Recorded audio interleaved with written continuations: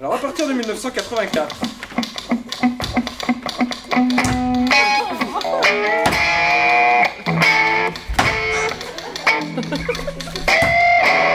c'est pas bien grave.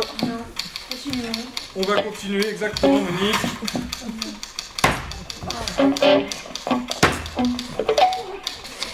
C'est incroyable, c'est plutôt japonais. Hein.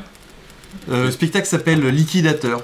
Liquidateur, c'est en fait le, le- le nom des, des personnes qui, qui sont en première ligne aux ACDIT, au Pôle emploi maintenant, pour, euh, pour traiter les dossiers des demandeurs d'emploi.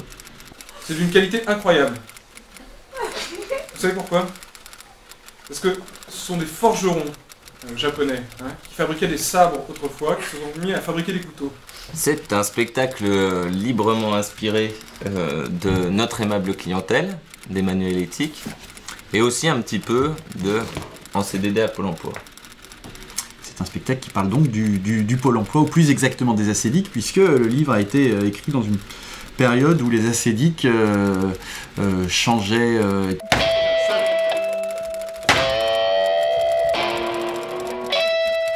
Alors, c'est c'est un savoir qui s'est transmis de génération en génération.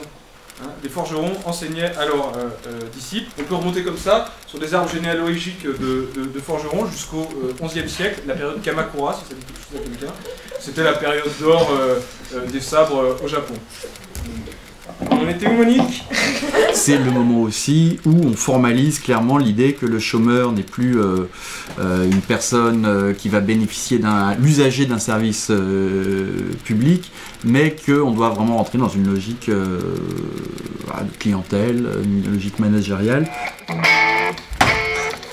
Alors comme ça, ça pourrait paraître un peu austère sur le papier, mais c'est sans compter la patte truculente d'Olivier Desmarais, qui évidemment voudrait aborder ça de manière assez croquignolesque.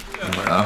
C'est un ancien liquidateur de chez nous, arrêté pour dépression, à qui nous voulons redonner une chance au poste de technicien expérimenté, fonction allocataire. J'ai nommé Monsieur Robert Leblanc. Euh, donc du coup, on va chercher à articuler, c'est un peu une gageure, on ne sait pas encore très bien comment on va s'y prendre, euh, à articuler justement des, des personnages sortis tout droit euh, du cabaret et euh, des personnages euh, sortis tout droit des acédiques.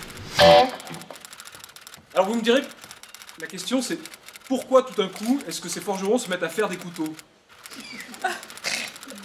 C'est vrai, pourquoi? Ils ont fabriqué des sabres jusque-là, et tout d'un coup ils font des couteaux.